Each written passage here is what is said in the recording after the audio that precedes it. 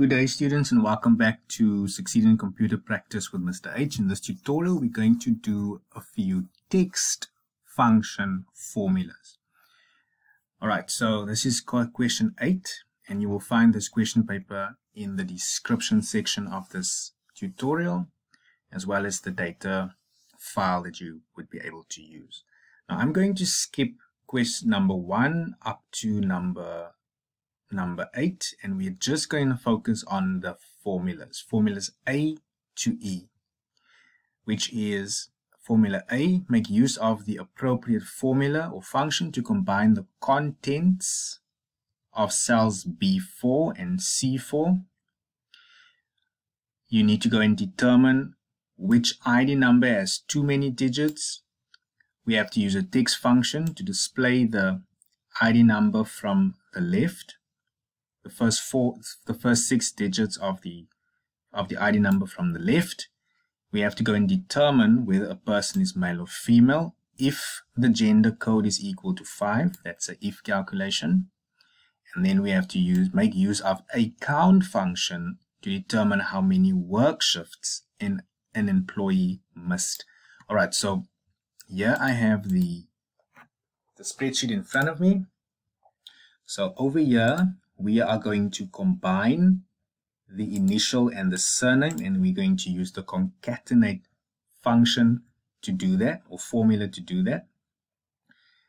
We are going to determine how many ID numbers we have here and as you can see one of the ID numbers is too long or quite longer than the others and we're going to have to go and determine how long that is by using a formula.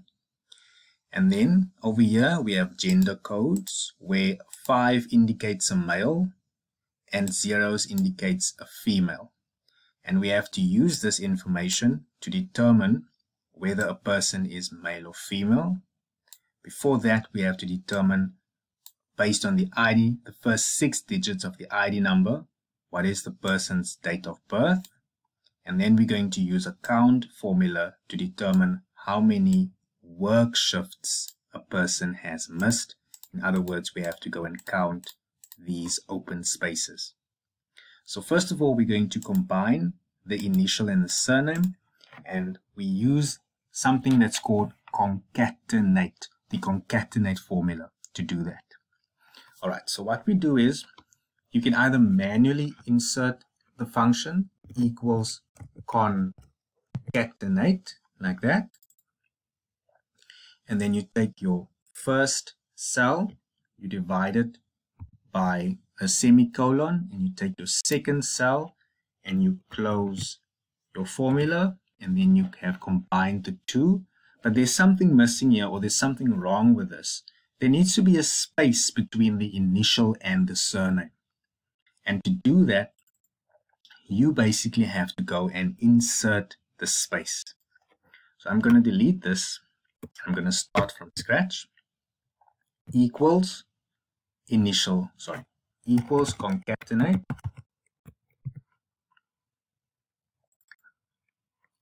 Open bracket.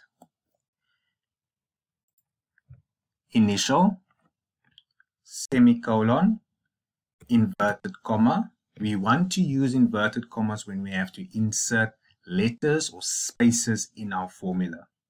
Space inverted comma, semicolon, because we're now done with that part of the formula. Second part of the formula, the surname, close your bracket, press enter. All right, that's the manual way. Then we can also use the automatic way by using a function as part of our, as part of our function library. We can click on formulas insert function and we're looking for the concatenate. Concatenate formula. Once we found it, we find it, we can click on OK. Then we get our function argument box and it's just asking us for two things. What is your first set of information and what is your second set of information? All right. Then we get the same answer that we got first initially. All right, so how do we fix that? remember we want to insert a space in between. So go back to our insert function. I'm going to delete this, delete this. And once you click on the second option, let me close this entirely. So insert function, concatenate. Okay.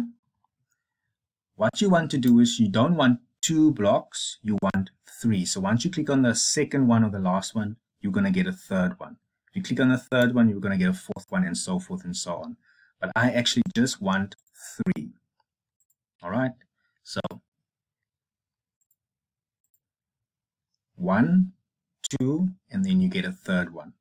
In the first, first space, we're going to put in our first initial.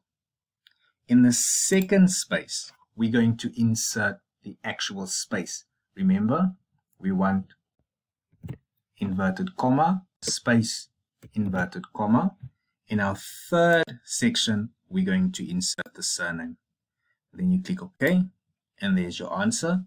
Copy the formula, and there's the rest of your information. All right, next question. What is the total ID numbers? We want to go, we want to determine how long is this ID number.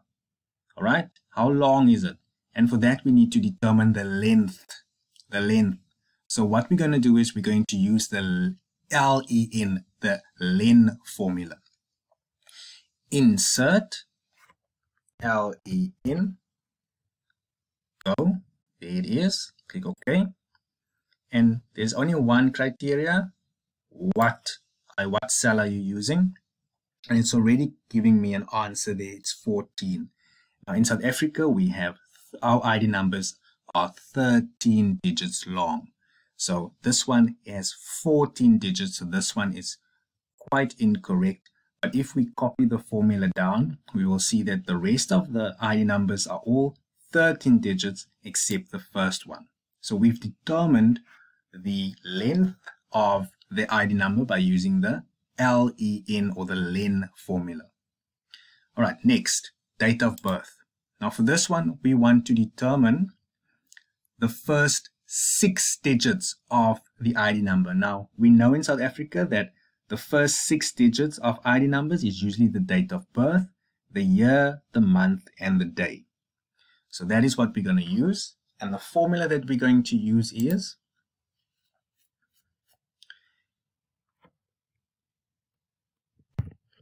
left. Let's just quickly go back to our question. And the question specifies, make use of a text function to display the first six digits of the ID number from the left. From the left. All right. So let's go there. So we're going to use the left um, formula. So it is equals left open bracket.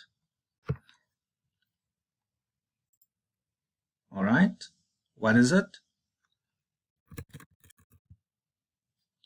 We can use the, we can type it in there or we can use the insert function left.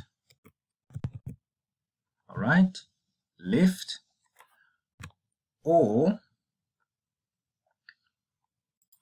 we can search for text functions. Let's see. And the text functions, we have something called a mid.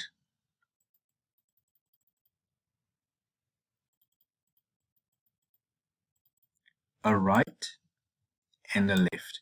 In fact, all of these are text functions. There's concatenate, there's number value mid, um, search, find,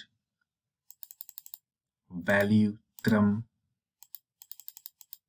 upper to create to change some to change text into uppercase, right, left, rept. Remember the rept one that we did earlier? That's also a text function. Len, the length, that's a text function. So even a lookup is a text function. So if you are working with text functions, all you need to do is you just type in your search box text and you will get all the text functions that you are going to possibly need. So in this case, it's the left text function. You can physically just type in left if, you know that is what you're looking for. And you're going to find it and you click on OK. And the left function or the, this particular function is asking you what text are you working with? I'm working with this text. How many number of characters are you looking for from the left? I'm looking for six characters from the left and then you click OK. And there's your answer. What if they wanted the first six digits from the right? Then you would have simply have just chosen the right option.